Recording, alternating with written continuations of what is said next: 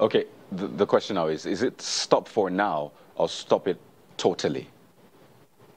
Yeah, but it, there's no conversation of coming back to this anymore. I don't see any meaning in our coming back to this.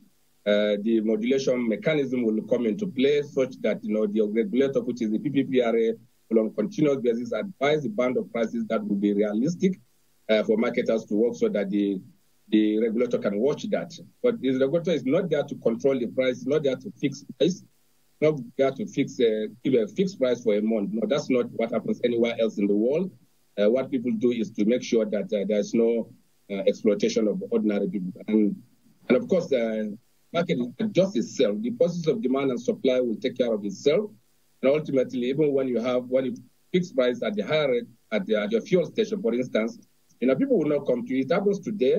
Uh, most people rush to NNPC fuel station for two reasons. One is because the fuel integrity, uh, the pump integrity is real.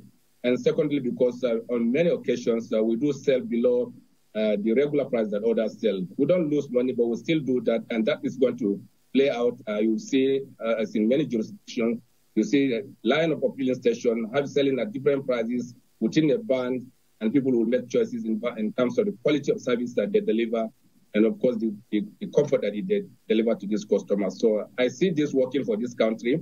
Uh, this is the consumption uh, support that we are doing that we should never do. Countries support uh, uh production and not consumption.